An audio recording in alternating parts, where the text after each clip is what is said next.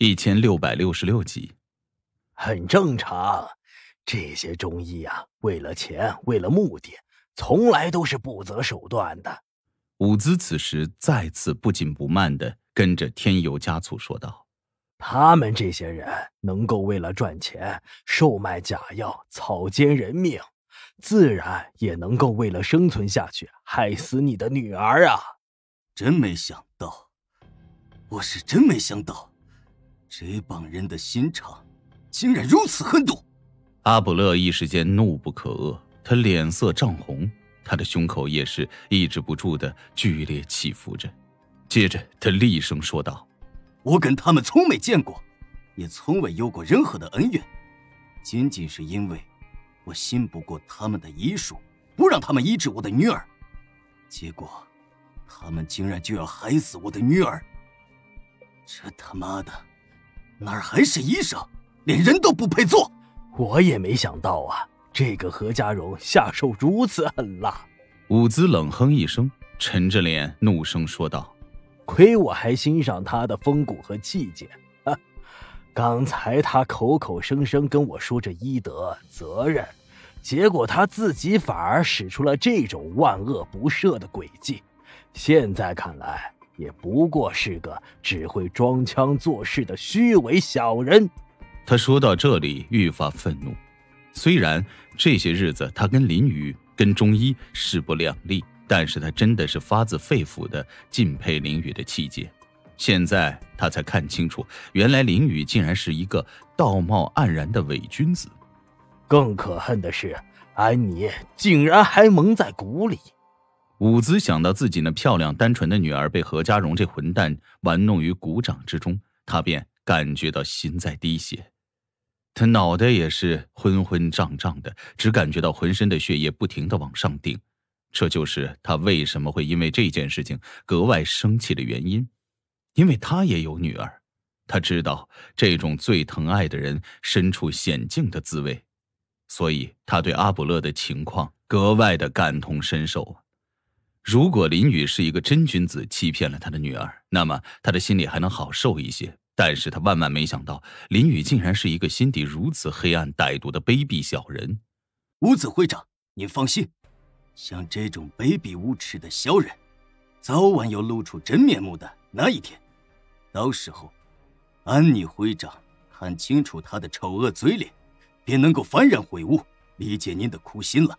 阿卜勒也跟着附和一声。接着，双眼微微一眯，眼中迸发出了一股无尽的寒意。他冷声说道：“不过，有可能，安妮会长还没等到那小子露出真面目的那一天，那小子可能就已经一命呜呼了。”话音一落，阿布勒便利落的掏出自己的手机，接着拨了一个号码，冷声冲电话那头说道：“你现在就给黑十字打电话，让他们联系我。”我有任务要跟他们合作。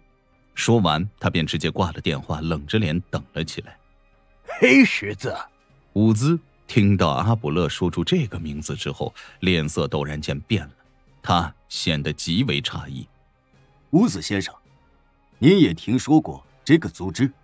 阿卜勒看到伍兹的反应之后，好奇的问：“不是很了解，但是我听说过他们。”好像是一个非常厉害的杀手组织。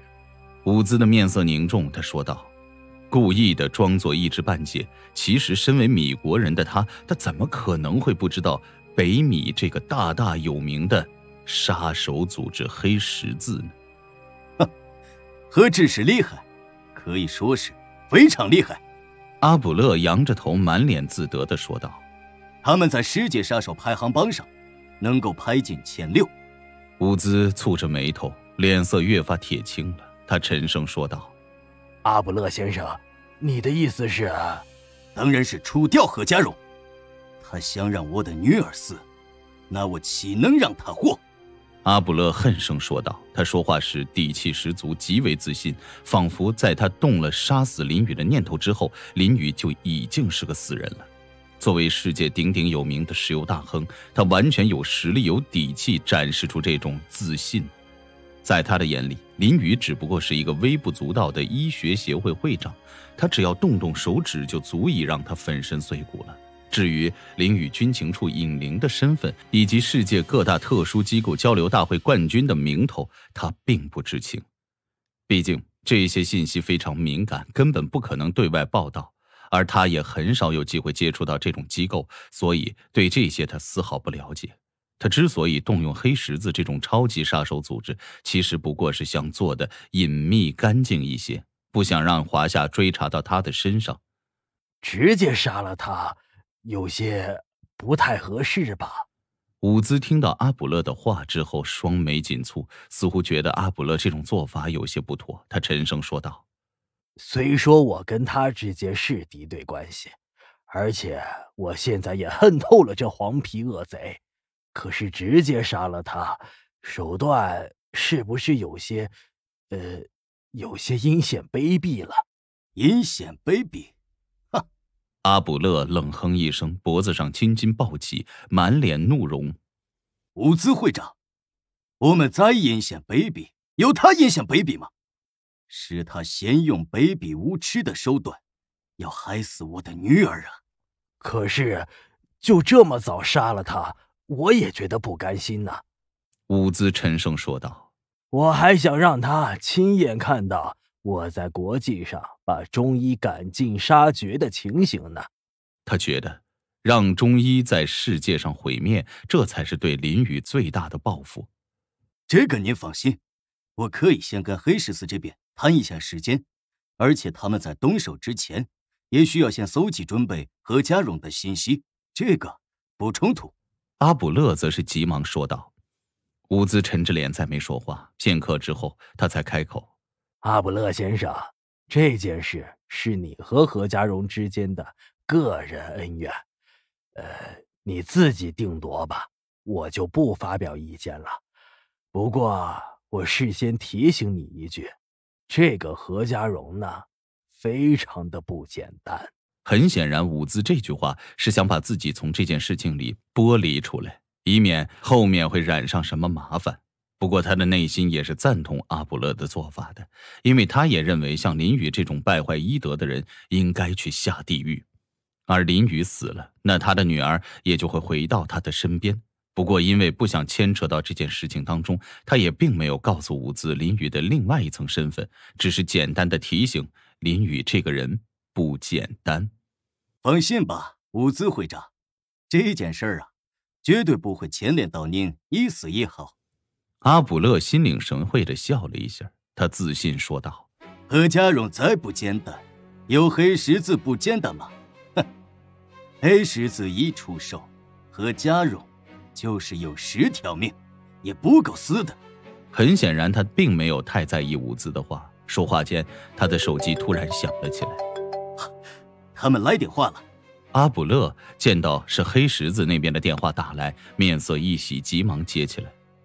阿卜勒先生，很高兴再次接到您的电话，请问我们有什么可以帮助您？电话那头传来一个低沉稳重的声音，说话格外的客气恭敬。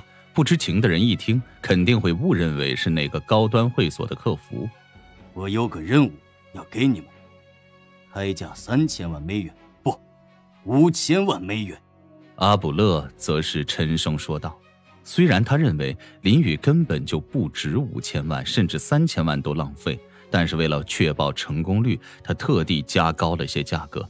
毕竟林宇所在的城市是华夏的心脏，而且林雨在他的眼里是小虾米，但华夏还是有一定影响力的。